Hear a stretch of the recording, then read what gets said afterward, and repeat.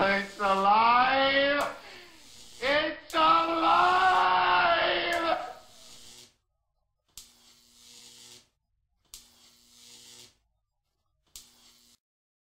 Hello, I'm Artifacts from Mars. The Earth Day video was not intended to be two-parter, but uh, I found a related story, and this is going to be part two. Advocates fan out in the global sh show of support for science. Now, these are leftists.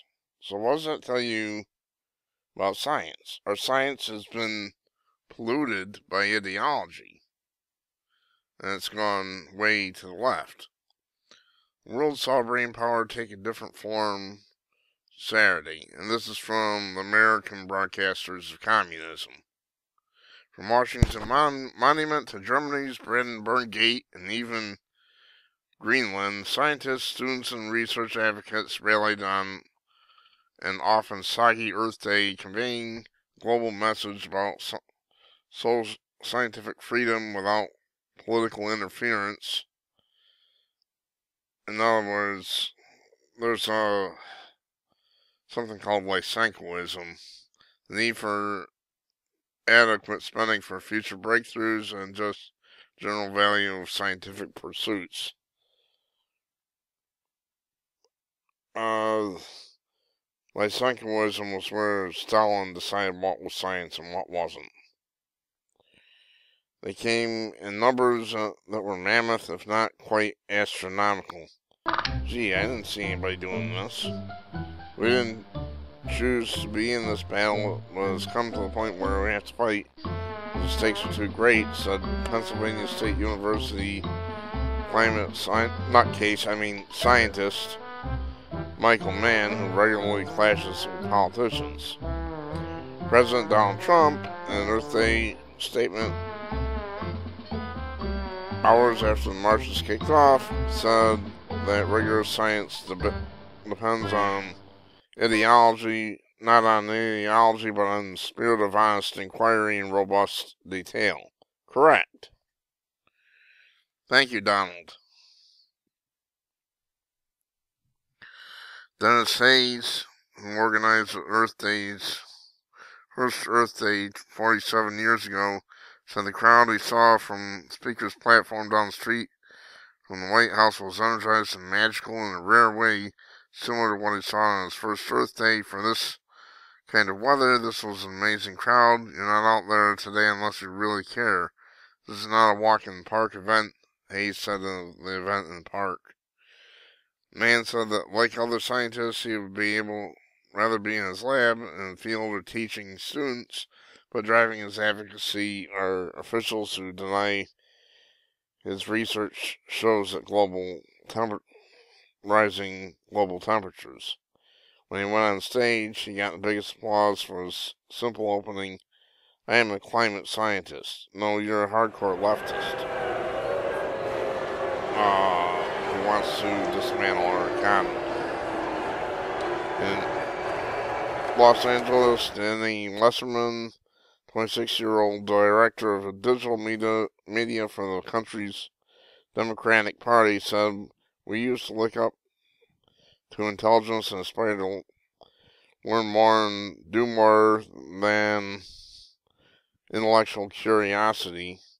And we're going, and we've gone from a society where our officials and representatives belittle science and they belittle intelligence. And we really need a cultural change. Uh, Mr. Lesserman, sir, they have a right to challenge the scientists, especially when we have false data, like from uh, NOAA, about the uh, temperature models. You know, they put up they put their temperature gauges in high temperature areas, higher temperature areas, like in cities, instead of putting them out in the country. You have the heat island effect, which is quite real, and that's where they put the temperature gauges lots of times.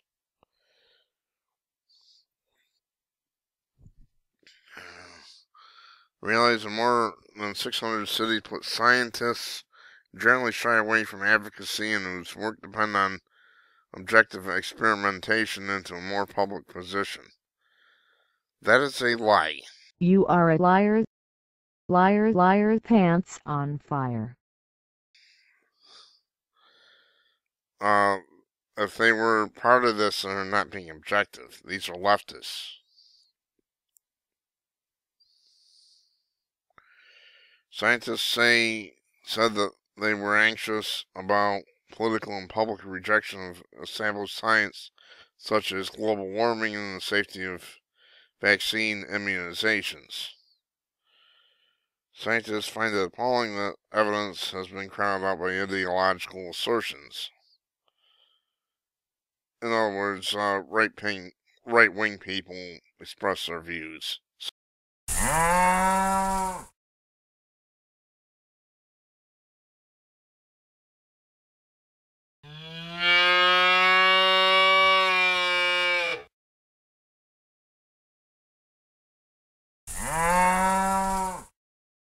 Says Rush Holt, a former uh, communist, I mean physicist and Democratic congressman who runs the American Association for the Advancement of Science. It's not just about Donald Trump, but there's also no question that marchers are saying when shoe fits. Despite saying the march was not partisan, Holt acknowledged that it was only dreamed up at the woman woman's march in Washington day after Trump's January 20 inauguration. But the rallies were also about what science does for the world. Like uh, swindle people into believing that there's such a thing as unguided evolution. That that is something I reject completely. And it goes on and on. I think points been made.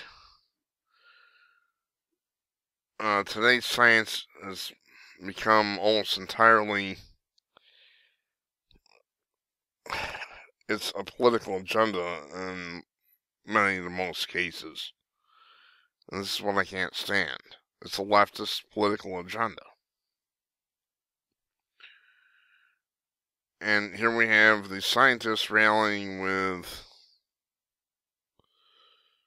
these uh, leftist marchers.